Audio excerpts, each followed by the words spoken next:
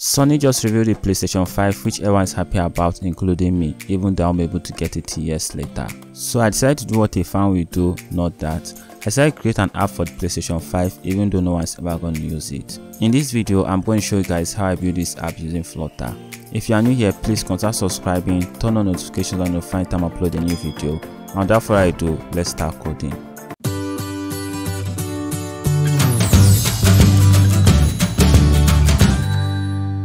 Before continue, I like to point out that the UI was gotten from Dribbble. Dribbble is a website where users upload design, so if you need an inspiration to design your website or app, you can visit dribbble.com. Before start coding, let's take a look at our app. So, over here we have a button navigation bar which is holding some button with morphic effect. If you don't know what morphic design is, it's a UI design that uses light source and shadow to create soft 3D effect, giving it focus to your element. To create a morphic design is pretty easy using the box shadow. At the top of the app, we have a header with a neumorphic button and a logo. And also over here, we have a product card with a neumorphic effect, which has the product image, type and name. And once we click on it, it's going to take us to a new screen with the product image, the features and a button of buy now and a price beside the text of buy now. And once we click on the back arrow button it's going to take us to the home page. And if we click on another product it's going to take us to the product screen with a new product. And that's all for the preview. Let's jump right into the code.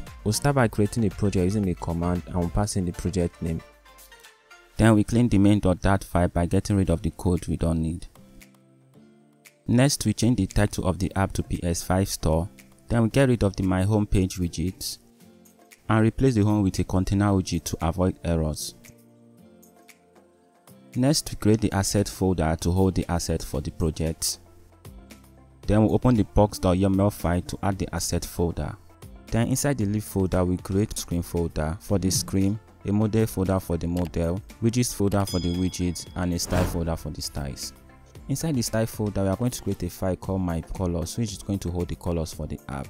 Inside the file, we import material and create a class called myColor. Next, we create some variables to hold the colors, the light color, dark color, blue color, and dark blue color. Inside the screen folder, we are going to create a file called home screen for the home widget. We create a stateful widget for the home screen, then we import material to get rid of the error. Inside the main.dart, we replace the container widget with the home screen widget we just created. In our home screen widget, we are going to get rid of the container widget and replace it with a scaffold widget. Then we change the background of the scaffold to a light color. And right now we have our app with a light background. Next we add a bottom navigation bar to our scaffold. I initially wanted to use the bottom navigation bar widget but I wasn't able to customize it to my taste. So we are going to create a custom widget for the bottom navigation bar. Note, if you are going to follow this process, you have to manage the state and the page by yourself. We create a widget called bottom nav for the bottom navigation which is going to return a container. We give it a color of my color.dark and a height of 80 pixels. And now we have the bottom navigation bar. Next, we give it a round shape by setting the top left border radius to 35 pixels and top right border radius to 35 pixels. And now we have the bottom navigation bar with a curved shape. Next, we give it a child of row widget which is going to hold the icon buttons. Since we're making use of the icon button in various parts of the app, we are going to create a standalone widget for the button which we'll be able to use in different parts of the app. In the widget folder, we create a file called neumorphic buttons. Inside the file, we import material and create a class called buttons. Inside the class, we create a method called icon button, which is going to take in four arguments, which are the BG color, icon, box shadow, and size. Next, we return a container. We give it a height of the size, the width of the size, and the color of the BG color, and we give it a border radius of 7.0. Then we'll give it a box shadow. Next, we open the home screen and import the neumorphic button. Inside the row widget, we add the icon button by instantiating the button class and calling the method icon button. We then pass in a dark color for the BG color and an icon widget for the icon. We give the icon widget a color of white.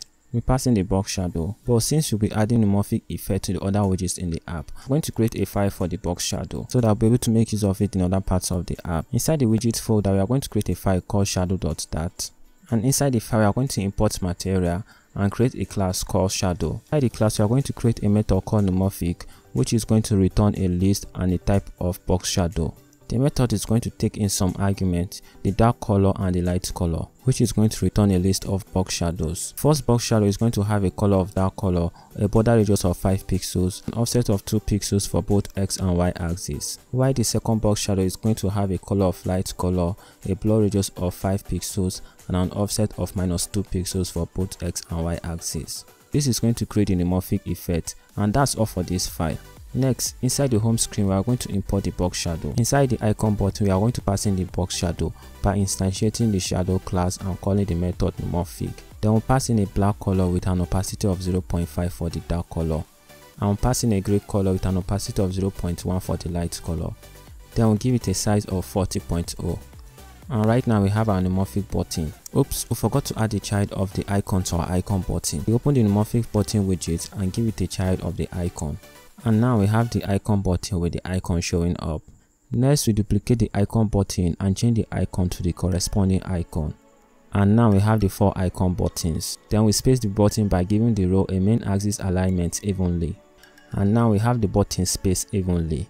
And that's all for the button navigation bar next we are going to start working on the header of the app. But before we start working on the header we are going to remove the debug banner. Sorry we should have done that earlier. Inside the main.dart file in the material widget we pass in a property called debug show check mode banner and set it to false. This will get rid of the debug banner. Then we'll open the home page widget and set the body of the scaffold to a safe area widget Inside the widget, we give it a child of column widget. It's going to hold the header and the products for the home screen. The app bar does not give us much room for customization, so we are going to create a header widget for the header of the app. Inside the widget folder, we are going to create a file called header.dart. Then inside the file, we create a stateless widget for the header, which will return a container widget. We create some variable, leading button for the left button, action button for the right button, the logo for the logo, and the BG for the background color of the header. We set the variables to the value passed through the constructor. Inside the container, we give the color of the BG color, a horizontal padding of 20 pixels and a height of 20 pixels. And give a child of a row widget, which is going to hold the leading button, the logo, and the action button. Then space the item by giving the main axis alignment or space between.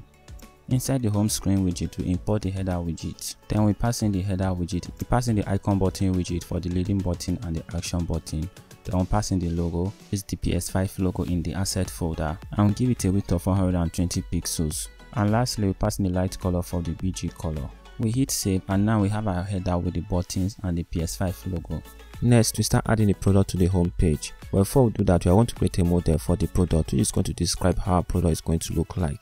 Inside the model folder, we are going to create a file called product. Inside the file, we are going to create a class called product. Then we'll add some variable to the class, the image for the image product, name for the name, type for the type, and price for the price of the product. Then we'll set the variables to the value we pass through the constructor. And that's all for the product model. Since this is not a reward project, we are just going to hard code the product. Create a variable called the product list, which is going to hold the product. Now adding some product to the list with some hard coded value using the model. Next, to create a widget called product, which is going to hold the product cards. Inside the file, we are going to create a stateful widget called product. Then we import material, and also we import the product model. We replace the container with an expanded widget to fill the remaining space of the screen. We then give the widget a child of list view to hold the product. And inside the list view, we are going to pass it a row widget to hold each row for the product. Note you can easily achieve this using the grid view builder, which there will be no need for the list view and the row widget. Next, we create a widget for the product cards. Inside the widget folder, we are going to create a file called product card. Inside the file, we are going to create a stateless widget for the product card, which is going to return a container. Then we'll import materials and also we import the product model. Then create a variable called product, which is going to be a type of product. Set the product to the value passed in through the constructor.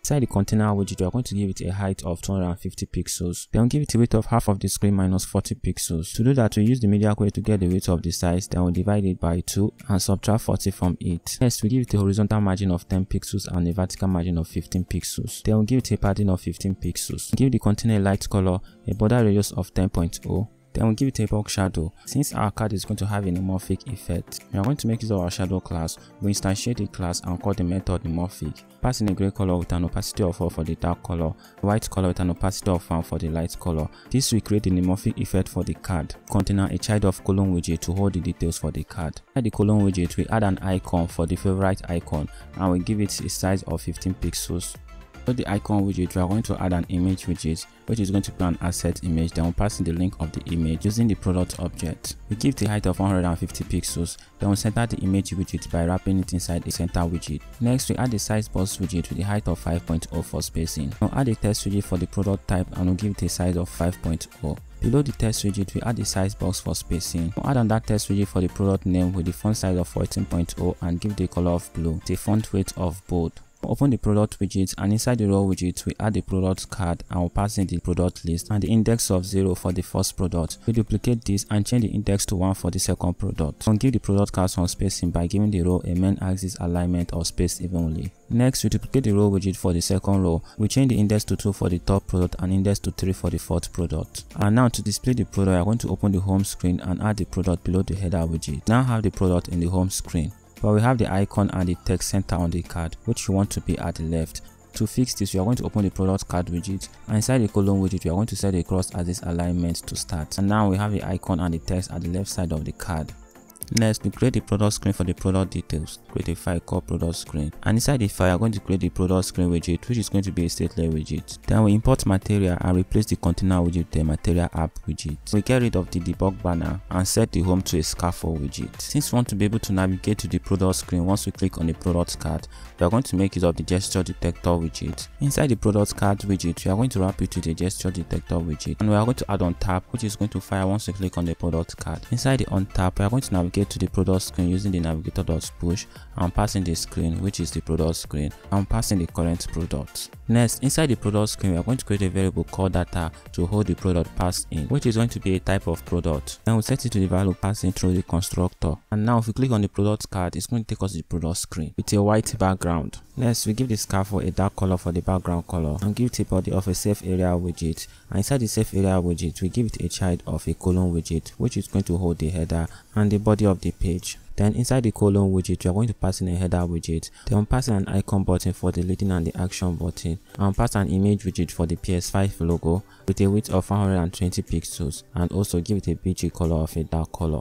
And now we have the header of the app. And since we want to be able to go back to the home screen once we click on the back arrow button widget, we're going to wrap the icon widget in a gesture widget. And inside the on tap, we are going to use the navigator.pop to take us back to the previous screen. And now if we click on the back button, it's going to take us back to the home page. Next, we create a body widget for the body which is going to take in the context and it's going to hold the product image, the features and the buy now button. Inside the widget, we are going to return a container and give the height of a variable called body height which we are going to create. We create a variable called body height and to get the body height, we're going to get the full height of the screen then subtract it from padding and 65 pixels which was the height of the header. We are going to create a variable called padding for the padding and to get the padding we are going to subtract the top padding from the bottom padding. Next we give the container a child of single child scroll view because we want to be able to scroll if the items overflow. Inside the widget we are going to give it a child of container widget, a top margin of 30 pixels and a top padding. We'll give it a light color for the color. Then we'll give the container a child of a column widget which is going to hold the image, the features and the buy now button. Next, we add an image widget for the product image, which is going to be an asset image. Then we'll pass in the image link from the data object. Then we'll give it a height of 220 pixels. Then below the image widget, we are going to add a size box widget and give it a height of 10 pixels for spacing. Then we'll add an image widget for the ring image, which is located in the asset folder. Then we'll give it a height of 60 pixels. Next, we are going to create a features widget for the features of the product. Inside the widget, we are going to return a container we give it a vertical padding of 25 pixels and a height of 120 pixels. Next, we give the container a child of list view to hold the list of the features card. Next, we give the list view a scroll direction of axis or horizontal to scroll the features card horizontally. Then inside the list view, we are going to add a container for the features card and give it a width of 100 pixels, a horizontal padding of 10.0 and a vertical padding of 15.0. Next, we give it a horizontal margin of 12.0 and a vertical margin of 10.0. Then give a light color for the color and also the card is going to have a homomorphic effect so we are going to add a box shadow and give it our custom shadow. Then give it a border radius of 20.0 for the curve shape. Next, we are going to give the container a column widget which is going to hold the icon of the features and the details of the features. Inside the column widget, we are going to pass an icon widget for the icon and give it an icon type of mic and a color of blue for the color. Below the icon widget, we're going to add a text widget for the features details, then pass in the features and we'll give it a font weight of bold. And now we have the features card. Next, we are going to align the items at the left side of the card and also add some spacing between the items. To do that, we are going to set the cross axis alignment to start and also set the main axis alignment to space evenly. And now we have the items at the left side of the app and some space between. Next, we duplicate the features card and change the icons to its corresponding icons and also change the details. And now we have the features of the product. Next, we are going to create a widget for the buy button and inside the widget you are going to return a container we give the height of 55 pixels then we give the left margin of 20 pixels a right margin of 20 pixels and a bottom margin of 20 pixels. Then we give it a border of 30 pixels for the round shape a color of blue and also we give the neumorphic shadow. And next we give the container a child of a row widget which is going to hold the price and the buy now text. We give the row widget a main axis alignment or space between. Inside the row widget we are going to add a container for the price. We give the weight of 80 pixels and a height of 55 pixels. Then we give it a dark blue color and a border radius of 30 pixels. And give the container a child of text widget for the price and passing the price from the data object